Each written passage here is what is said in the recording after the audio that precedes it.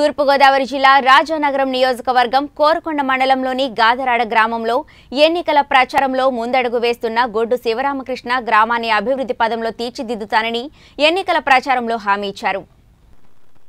ఈ సందర్భంగా కేబుల్ శివ మీడియాతో మాట్లాడుతూ గాదరాడ గ్రామానికి చెందిన అన్ని సామాజిక వర్గాల అండదండలతో తనని స్వతంత్ర సర్పంచ్ అభ్యర్థిగా నిలబెట్టారన్నారు. గ్రామంలో ప్రజలకు ఎటువంటి సమస్య వచ్చినా ప్రభుత్వ సహకారం తీసుకుని ప్రజలకు న్యాయం చేయడానికి కృషి చేస్తానని గ్రామస్తులకు హామీ ఇచ్చారు. కేబుల్ శివగా ఈ గ్రామంలో ప్రతి ఒక్కరికి తెలిసిన వాడినని గతంలోనూ సర్పంచ్ అభ్యర్థిగా పోటీ చేసి తక్కువ ఓట్లతో ఓటం పాలైనట్లు తెలిపారు. తనకు ఓటు వేసి అఖండ మెజారిటీతో గెలిపించాలని గ్రామస్తులను కోరారు.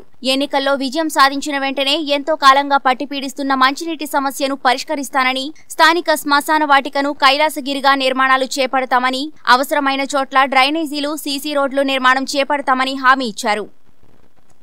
తోటే ఇప్పుడు గ్రామ ప్రజలు ఇంత ముందు బలపరిచినటువంటి గ్రామ ప్రజలందరూ కూడా మహిళలు నా అక్క చెల్లెళ్ళు అన్నదమ్ములు స్నేహితులు వీళ్ళందరూ కూడా మరలా ఇప్పుడు నువ్వు అయితే బాగుంటుంది అని చెప్పేసి నన్ను ప్రోత్సహించడంతో నేను మళ్ళీ సర్పంచ్ అభ్యర్థిగా స్వతంత్ర సర్ప సర్పంచ్ అభ్యర్థిగా నేను పోటీ చేస్తున్నాను.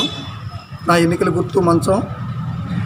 నేను గ్రామ గ్రామంలో నిరంతరం తిరుగుతూ కూడా ప్రతిరోజు నేను ప్రజలు పడుతున్నటువంటి ఇబ్బందులు చూశాను.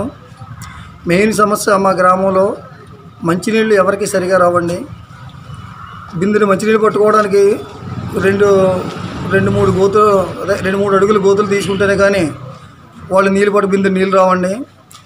అలాగే ఆ నీళ్ళందరికీ సక్రమంగా రావడం కోసం నేను కృషి చేయాలని చెప్పేసి నా మనసులో పట్టుదల.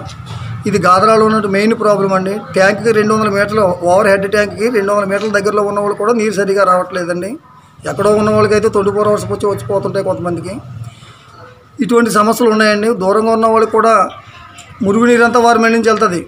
కానీ మంచినీరు రాదండి వాళ్ళకి. ఆ పంత పొలంలో ఉన్న కాడ. ఈ సమస్య మెయిన్ అండి. తర్వాత డ్రైనేజీ వ్యవస్థ కూడా సరిగా లేదండి ఇక్కడ. డ్రైనేజ్ వ్యవస్థ సరిగా లేక ప్రతి చోట కూడా నీరు నిలవండిపోయి రోడ్ల మీద ఎక్కడం జరుగుతుంది. ఒక రోడ్డుకి ఒక రోడ్డు క్రాస్ చేయాలంటే రోడ్డు డ్రైనేజీలోంచి డ్రైనేజీ వాటర్లోంచి క్రాస్ చేయాలి. దానివల్ల సూక్ష్మక్రిములు దోమలు ఇవన్నీ పెరిగిపోయి ప్రజలు సేవ తీవ్రంగా ఇబ్బంది పడుతున్నారు. అది ఒకటి నిర్మూలించాలని చెప్పేసి ఒక సంకల్పం. అలాగే లైట్లు వ్యవస్థ అండి. లైట్లు కరెంట్ లైట్లు పోయి వీధి లైట్లు పోయినప్పుడు ఎక్కువ లైట్లు పోయే వరకు ఉండి ఒకసారి చేస్తున్నారు.